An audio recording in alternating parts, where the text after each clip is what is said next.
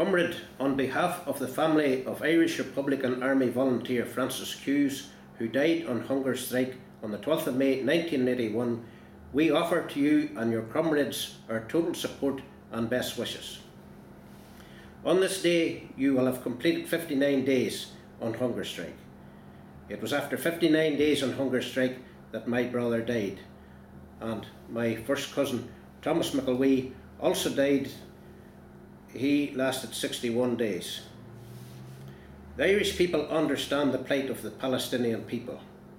Our country has been occupied by the British for 800 years, and throughout all those years we have suffered murder, imprisonment, and death on hunger strike.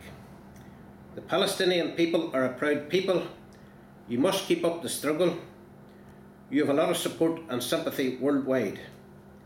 My thoughts and prayers are with you, Khader Adnan, your comrades, family, and friends on this day.